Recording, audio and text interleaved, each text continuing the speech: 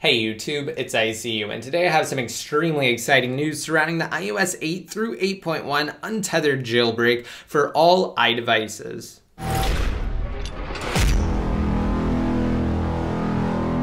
Alright, so starting off, I'm going to preface by saying if you have yet to jailbreak, there will actually be an annotation on the screen now if you're on the desktop version of YouTube. Just be sure to click that to be taken to my jailbreak video, and you can also find a link to it down below in the more info or on my channel. Once you're jailbroken, you can come back here for the information in today's video. So this is a really exciting update, guys. It's for Cydia once you're jailbroken, and as many of you know, Cydia is the graphical user interface for distributing third-party tweaks for iOS devices. So now those on iOS 8 through 8.1 jailbroken by way of Pangu for iOS 8 can now officially set a passcode. There's been an update to Cydia. It's a rather major one. I'm actually going through the process of setting up a passcode now to show you guys after installing the update that it does indeed work. So I'm going to swipe over and you will notice that I do have the little notification on Cydia. It's saying that that there are two available updates. Let's go ahead and tap into it and see exactly what they are.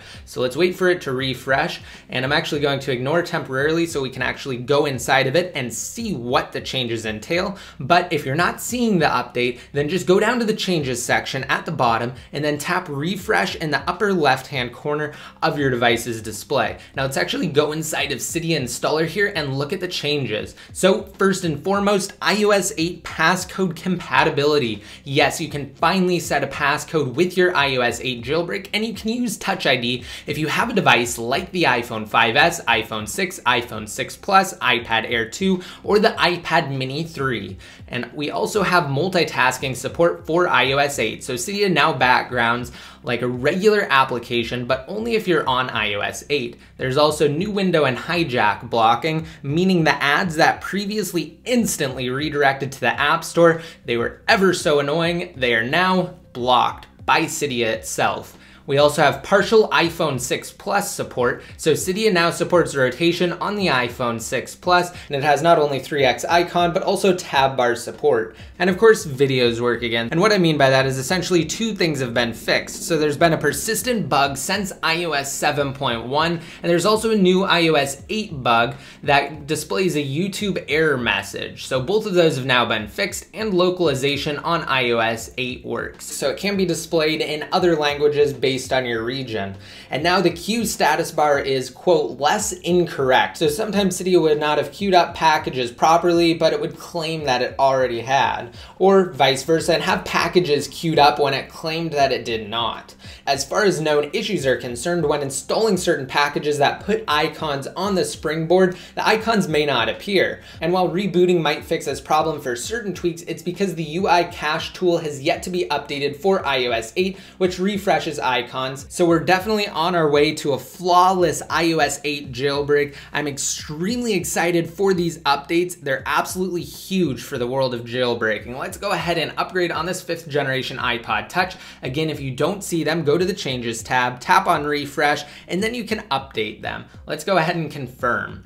So let's just wait for these two updates to install. And you may have noticed previously that I did indeed set a passcode. Once we have these updates installed successfully, I'm actually going to lock the iPod Touch just to show you guys again that I do have a passcode set as a default 1111. So let's go ahead and close out of Cydia now. And I'm going to lock the iPod Touch and we're going to slide to unlock and again, 1111. And now I'm going to reboot just to show you guys that I do not get stuck in the boot loop now that I have the latest version of Cydia. So let's go ahead and wait for it to power off. And once it does, I will turn it back on. I'm actually going to leave it up on the display throughout the duration of the reboot process, just so you guys can see that again, it does successfully boot up without any sort of complication. So let's go ahead and wait for it. I'm about to press the power button right now.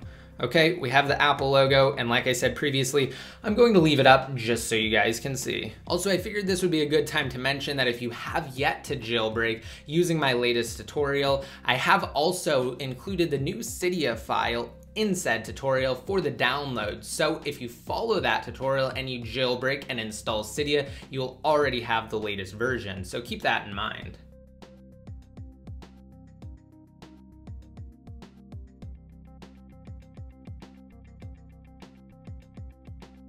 All right, and we have a rather interesting white with black Apple logo screen up on the iPod Touch now. I actually haven't seen that one on this device, and it definitely can be attributed to the Pangu jailbreak, so it should come back up shortly. It does go through a series of reboots now. Let's go ahead and slide over here, and of course, 1111. So you do know that it does work, passcode works successfully, and Touch ID does work on the iPhone 5S, iPhone 6, iPhone 6 Plus, iPad Air 2, and the iPad Mini 3. Just a quick update video for you guys on not only Cydia, but also Pangu and the all new update for the jailbreak. Let's hope that more updates come soon and the UI cache problem has been fixed so that new packages that install icons on your springboard show up without having to reboot. But either way, that is definitely an easy fix. Just simply power off and power on your device.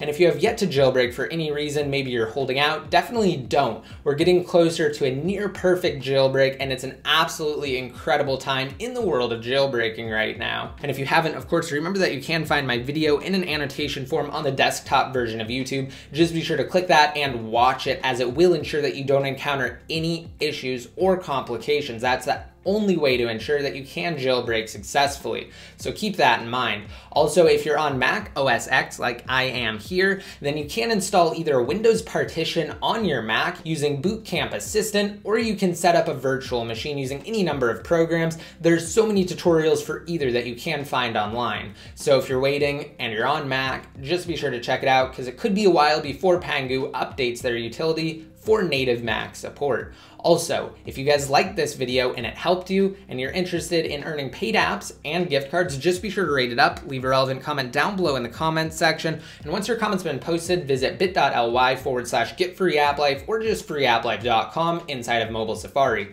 After tapping download, if you're on iOS 8, press the home button, open the app, download and install the temporary secure, and download and install the temporary secure profile, which is strictly used for associating your device with its proper account in a more secure manner on the latest firmware. It's never even installed on your devices, it's immediately deleted once your account has either been created or reassociated. From there, again remember, install sponsored apps for points and redeem said points for the aforementioned prizes. Alright, and that's it for this video, just letting you guys know about the all new Cydia update and how you can now have a passcode completely set on your jailbroken device and how it does work with Touch ID. And if you guys want to be updated more often, such as when I release more videos like this one related to jailbreaking, or even forthcoming Apple products such as the Apple Watch, just be sure to like me on Facebook and follow me on Twitter. And until next time, this is ICU signing out.